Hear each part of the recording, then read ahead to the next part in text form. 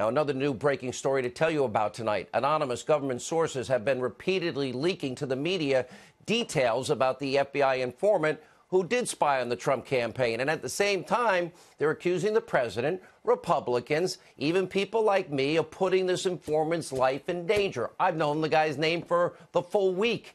Here's the latest example from the Washington Post. Bigger than Watergate, Trump joins push by allies to expose the role of an FBI source.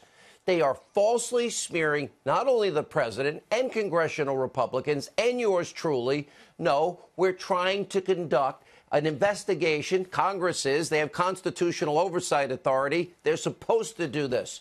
In the process, Washington Post, as biased as they are, is revealing key details about who the person is. For example, quote, the source is a U.S. citizen and has provided information over the years to both the FBI and the CIA, as the Post previously reported, and aided the Russia investigation both before and after Mueller's appointment in May of 2017, according to people familiar with his activities.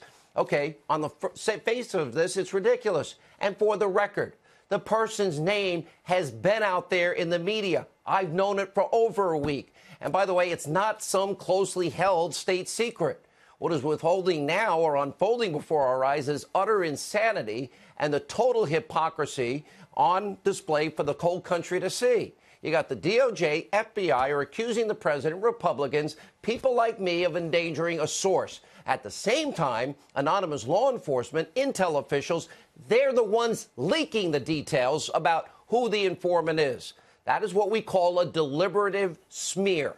Now, here's point number two. This is really important these unnamed federal officials have leaked more information to the New York Times and Washington Post than they've given to Congress.